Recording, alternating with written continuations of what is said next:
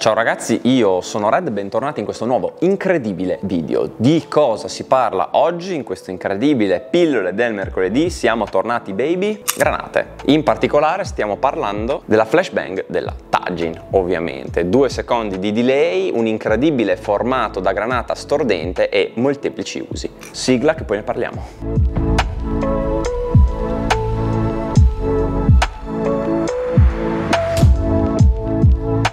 Una cosa di cui abbiamo parlato poco sul canale sono le granate, principalmente perché sia io che War le utilizziamo abbastanza spesso, ma ci siamo poi sempre adagiati sugli allori utilizzando le Okatsu che non è la scelta migliore. Sicuramente la scelta più economica ma non la più efficace. Ecco che ci viene in nostro soccorso come prima delle tre opzioni incredibili di cui vi parlerò questa settimana la flashbang della Tajin. Il modello è l'FBG6, ovviamente modello flashbang con 2.0 secondi da quando voi avete ovviamente rimosso l'anello della sicura, avete mollato la eh, leva della sicura e la granata va a esplodere appunto in due secondi. Cosa significa questa cosa? Beh, che sicuramente non vi consiglierei di attivare la granata e tirarla per colpire qualcuno dall'altra parte del campo. Questa infatti è una granata che non si potrebbe neanche chiamare granata perché è una flashbang, però passatemi il termine, che va utilizzata per l'appunto per ripulire le stanze o per scioccare il nemico all'interno della stanza ed entrare con il pene turgido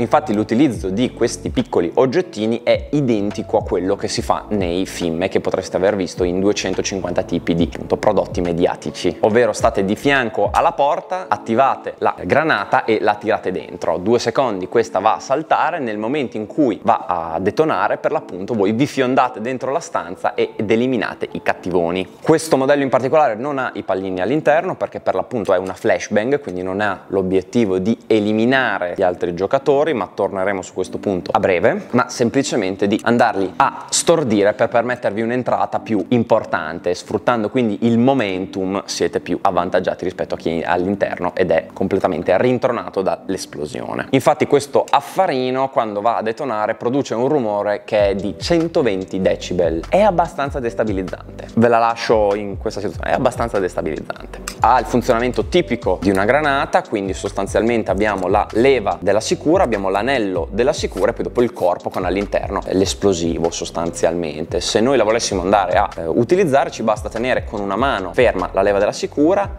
rimuovere l'anello della sicura e nel momento in quale, nel momento in quale, nel momento nel quale noi la andiamo a tirare mollando appunto la leva della sicura per l'appunto questa va a detonare in due secondi. Due secondi è tra l'altro il tempo perfetto che vi serve per tirare la granata, rimbracciare il fucile ed essere pronti ad entrare nella stanza abbastanza. Chiaro è che dovete essere belli carichi, bisogna entrare incazzati.